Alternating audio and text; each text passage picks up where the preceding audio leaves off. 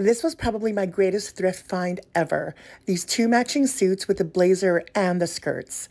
I paid $500 for both of them, but when you look online, the resale is insane.